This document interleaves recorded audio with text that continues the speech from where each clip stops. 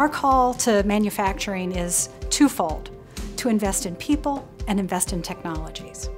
At Siemens, we've invested in people and we focused in on apprenticeships. Programs that we started several years ago, we've now expanded to nine states.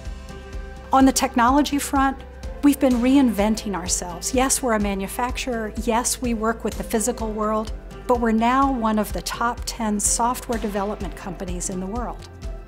What's coming in the future is an opportunity to transform this manufacturing economy, making use of data.